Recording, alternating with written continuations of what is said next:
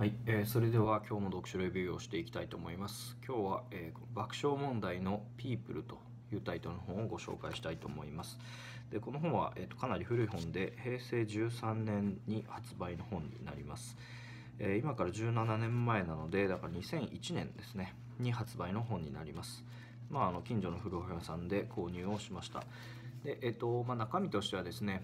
えーとまあ、タイトルがこれ「ピープルっていうタイトルなんですけれども、まあ、爆笑問題の2人がですね、まあ、ここに、えーと、ちょっとこのアニメーションで書いてあるような人々と、まあ、対談をして、まあ、あのいろいろなトピックに、まあ、トピックうんと、まあ、内容について、えー、議論をすると、まあ、議論というか、まあ、どちらかというと、まあ、この各々の、まあ、登場人物の、まあ、話を聞いてどういうふうに考えてるかとか、まあ、なぜ考えそういうふうに考えてるかっていうのを、まあ、あの簡単に聞き出すような内容でした。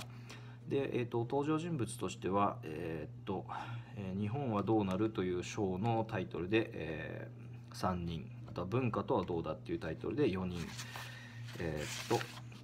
とは「疑って書かれ」というタイトルで4人で「とても身近なこと」っていうタイトルで4人今ジャンルとしては政治官僚宗教文学考古学言葉漫画霊 UFO 科学心理学下町結婚テレビ笑いとまあ、あのいろいろなタイトル、えーまあ、あの話題に対して、まあ、ゲストを用意して、まあ、そのゲストにそれぞれ、まあ、思っていることを話してもらうという内容でした。でえっ、ー、と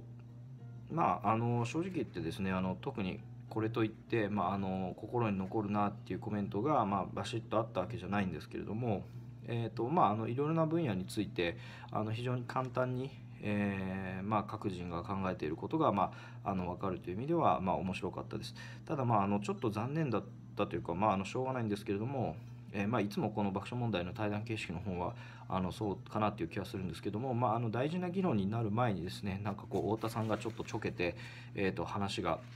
こうそれてしまったりとかですね、まあ、そういうような、えー、ことはありました。でそれはまああのこの爆笑問題の対談形式っていう特性もあると思いますし、まあ、あとこの本自体もですねそんなにこうあの分厚く作ってあるわけじゃなくて、えー、今言ったような、えー、人数で、まあ、300ページ強というページ数なんで、まあ、そういったあの書面上の制限もあって、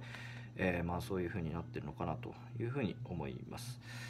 はい、なので、あのまあ、ちょっと古い本なんで、まあ、わざわざ人にお勧めするほどの本ではないんですけれども、まあ、あのいろんな方のいろいろな考え方や、まあ、いろんな活動っていうのが分かるという意味では、まあ、あの少しあの面白かったかなと思います。